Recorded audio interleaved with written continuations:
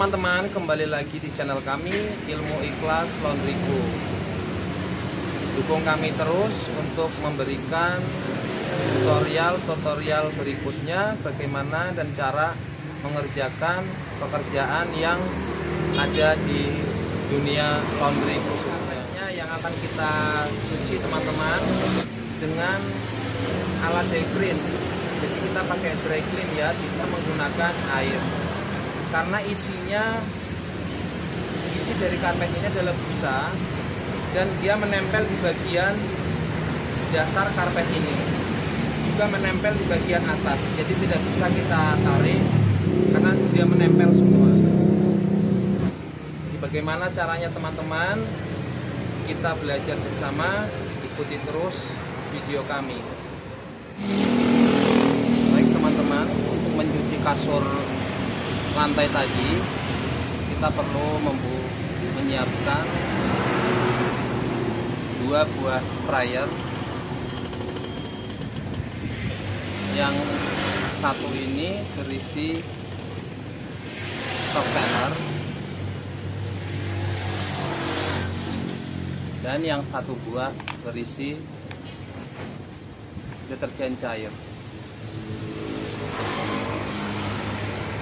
juga kita menggunakan vakum dan kita juga membutuhkan sebuah sikat yang halus atau yang biasa buat semir sepatu. Langkah pertama kita semprotkan cairan yang campur dengan deterjen tadi ke bagian karpet yang akan kita bersihkan. Dan ini adalah karpet bulu ya teman-teman kemudian kita sikat menggunakan sikat semir sepatu yang tadi. Setelah nanti selesai kita sikat kemudian langsung kita vakum bekas cairan air sabun tadi. Ya langsung divakum ya teman-teman ya. Jadi air sabun yang kita semprotkan tadi langsung divakum dikeluarkan. Dan setelah itu kemudian kita semprotkan spray yang kedua yang berisi softener tadi. Kita semprotkan softenernya kemudian kita vakum kita ulang beberapa kali hingga bekas air sabun tadi benar-benar hilang dan karpet pun yang terlihat kotor sudah bersih.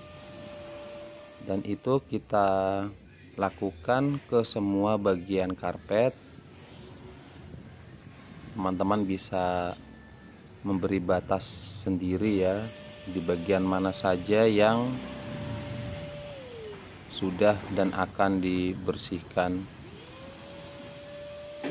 Dan begitu seterusnya kemudian dibilas menggunakan semprotan yang berisi softener tadi. Dan demikian teman-teman cara mencuci kasur kasur lantai yang berdasar berbahan bulu. Dan untuk bagian belakangnya bisa kita spotting bagian-bagian yang kotor saja semua kita spotting jadi tidak perlu kita bersihkan semua karena di bagian dasar ini bawah ini ber, berbahan karpet yang tipis. Setelah itu kemudian karpet kita jemur di bawah matahari atau kita angin-anginkan saja sudah cukup. Demikian teman-teman.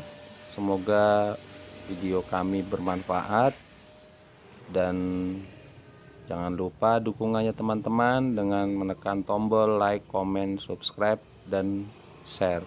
Thank you